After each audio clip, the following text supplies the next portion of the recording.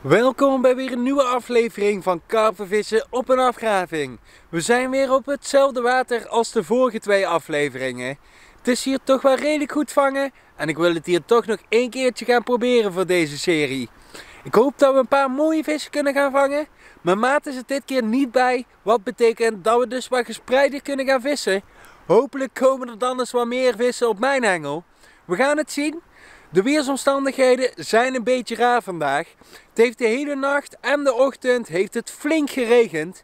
Er is iets van 14 mm uitgekomen, dus het gras en alles hier is goed nat geworden. Daarbij is de luchtdruk heel erg gedaald naar 989. Dat is dus echt super laag en dat is de afgelopen tijd nog niet echt voorgekomen.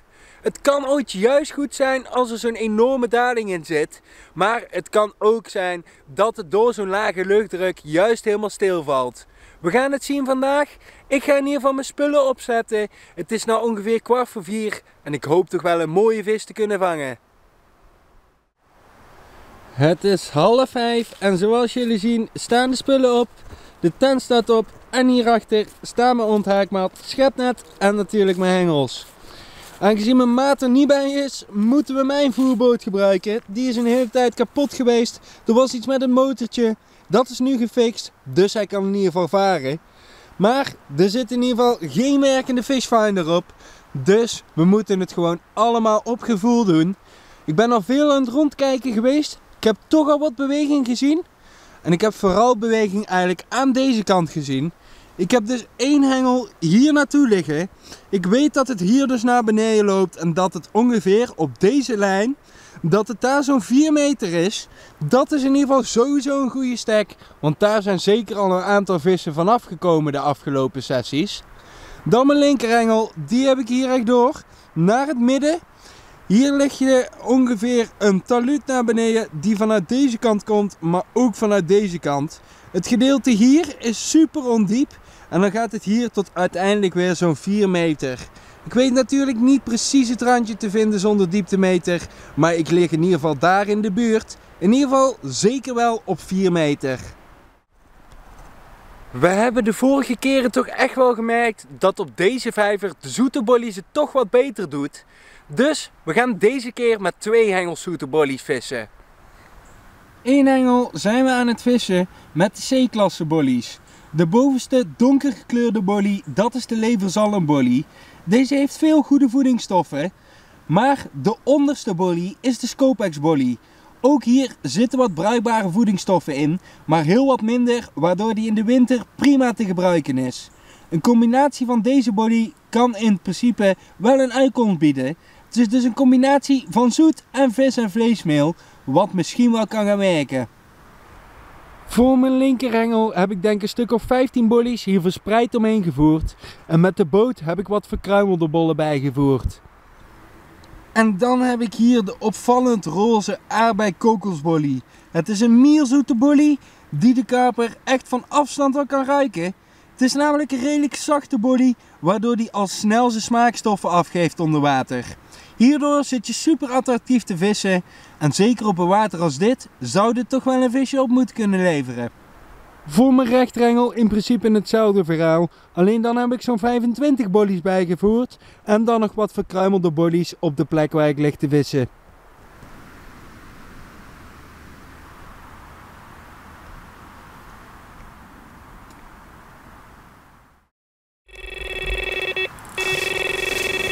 Ja, ja.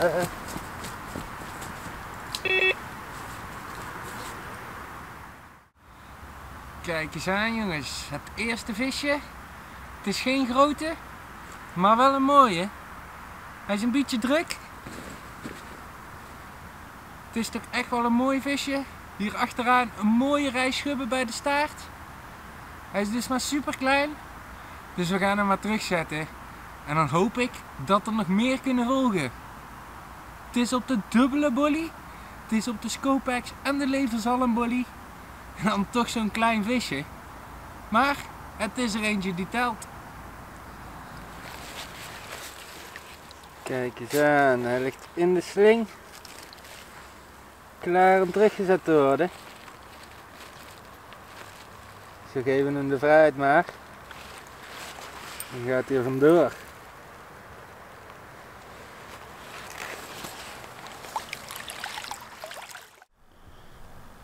Ik heb de hengel weer voorzien van een nieuw aasje. Weer hetzelfde recept en dan weer wat verkruimelde bodies. Dan gaan we nu maar weer varen.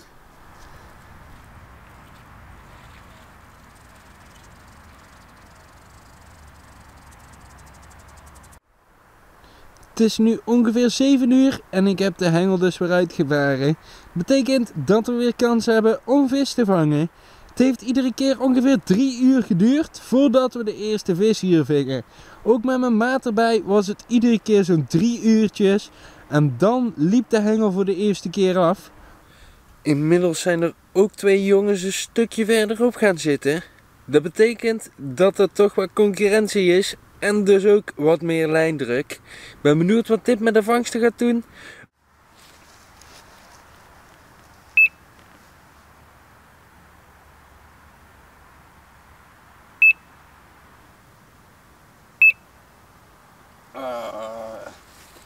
Jullie weten wel weer hoe laat het is. Bream time.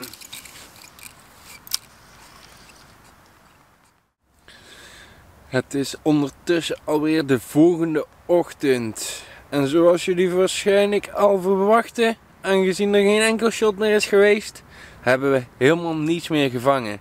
Super rustig geweest. Ik heb gisteravond nog één piepje gehad, maar daar is het ook mee gestopt. Helemaal niets meer sinds die jongens hier eigenlijk zijn komen zitten.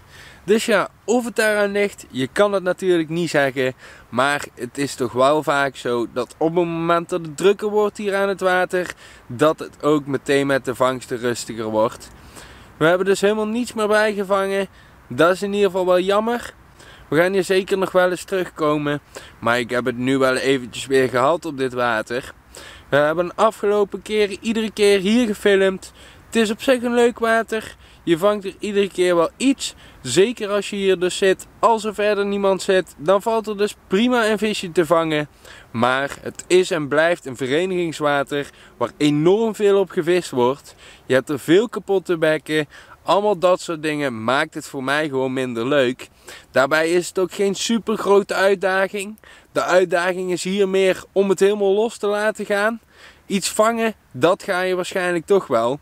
En dat is toch ietsje minder leuk. Maar ik denk dat veel van jullie het ook wel waarderen als ik gewoon op wat lastigere wateren af en toe een keer blank, maar dan uiteindelijk wel meer voldoening uit de vis haal. Want het zijn gewoon mooiere vissen, minder beschadigingen en ze zijn natuurlijk moeilijker te vangen. Daar focus ik mezelf liever op. De kanalen, al dat soort dingen. Dat is toch wel echt meer mijn visserij. En dat ga ik de komende tijd dus ook wel weer doen. Toch nog een fluiten.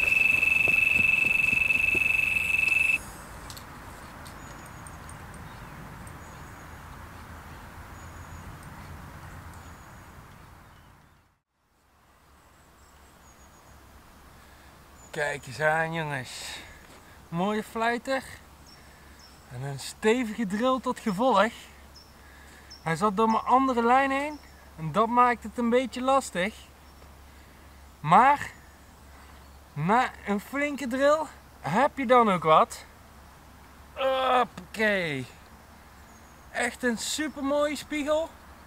Zeker voor dit water. Is dit echt wel een spiegel die er mag wezen. Super brede vis. Hij is echt heel erg massief. Hier ben ik dan weer super blij mee hoor. Ben echt benieuwd wat deze weegt. Hij heeft echt een brede rug. Super dikke buik. Echt wel een mooie vis. Ik heb nu dus mijn eigen weegschaal weer. Dus daar moet ik weer 1,3 kilo van afrekenen voor de mat.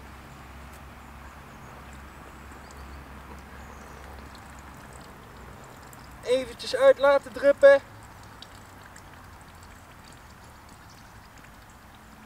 Komt hij op 13,2 kilo. Heb je toch een mooie vis van 11,9 kilo. Daar ben ik blij mee jongens.